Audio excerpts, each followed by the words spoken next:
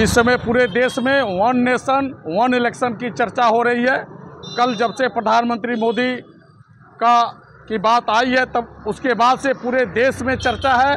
और मैं प्रधानमंत्री के संसदीय क्षेत्र वाराणसी में हूँ और ख़ासतौर पे मैं अस्सी क्षेत्र में हूँ, जो राजनीतिक और सामाजिक रूप से काफ़ी जागरूक इलाका है। तो आइए बात हम करते हैं कि वन नेशन, वन इलेक्शन पर यहाँ की जनता की क्या राय है। भाई साहब, आपका परिचय? मैं राजेश मिश्रा यही बनारस काशी का निवासी हूँ।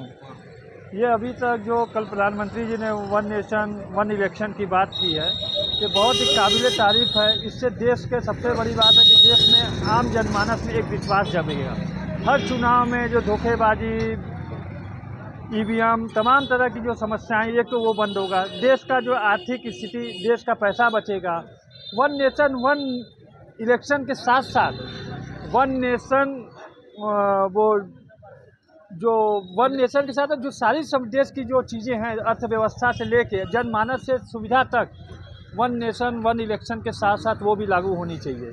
हम इसका तहे दिल से स्वागत करते हैं, अभिनंदन करते हैं, बाबा विश्वनाथ से कामना करते हैं कि वन नेशन, वन इलेक्शन जल्द से जल्द हो, जिससे कि देश की जनता को राहत मिले, उनके ऊपर आर्थिक बोझ का कम पड़े और उनके जो समस्याएँ वो जल्द से जल्द भी सुलझने का भी काम होगा इसे अभी राजेश मिश्रा जी बाबा श्री काशी विश्वनाथ जी से कामना कर रहे हैं कि पूरे देश में वन नेशन वन इलेक्शन की जो है प्रणाली लागू हो तभी इस देश को अर्थ की अर्थव्यवस्था और मज़बूत हो पाएगी।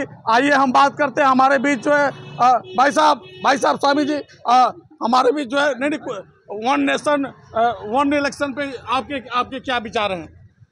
हम Uday Narayan Singh, freedom fighter, Udham Singh trust all India freedom fighters जो one nation one election this is very nice very excellent but हमारे देश के प्रधानमंत्री ने बहुत इसको जल्दी लाया है।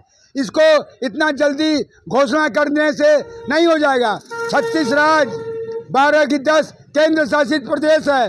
कहीं साल भर बाद चुनाव होना है, कहीं चार साल बाद चुनाव होना है, कहीं तीन साल बाद चुनाव होना है।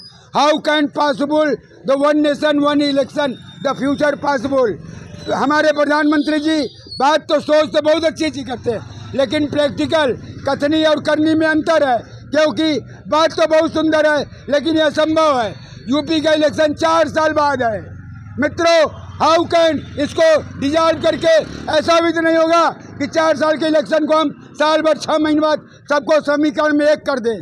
तो ये बहुत अच्छा हमारे मोदी जी, प्रधानमंत्री जी, ये जो लाए हैं one nation one election very nice very excellent but this is the very critical position for constitution and all india, all the member of parliament लोक सभा राज्यसभा विधानसभा एंड कारपोरेशन जिला पंचायत, पूरा का सबका जनमत लेना होगा। हमको नहीं लगता है कि ये काम तो बहुत अच्छा है, बहुत सी चीज़ें बहुत अच्छी लगती हैं। सपना हम देखते हैं कि वाह, सुबह हम राजा हो गए हैं, लेकिन नींद खुलता है तो हम सड़क पे रहते हैं, अपने हम घर में रहते हैं। इसी तरह हमको बड़ा इस समय 2024 याचना नहीं अब रण होगा। जीवन जय, मरण होगा। जीवन दुर्योधन, तू दोषाई होगा। हिंसा का उत्तरदायी होगा। वन नेशन वन इलेक्शन से देश को क्या लाभ होने जा रहा है? क्या यदि है लागू तो हो गया चीज़ है तो बहुत अच्छी चीज़ कि अगर हो जाए तो जैसे हमारे मिश्रा जी हमारे पुराने साथी हैं बताए तो है तो बहुत अच्छी चीज़। लेकिन ये असंभव है। हमको लगता है असंभव है। अच्छा हमारे बीच अ, कुछ लोग हैं। अ, भाई साहब आप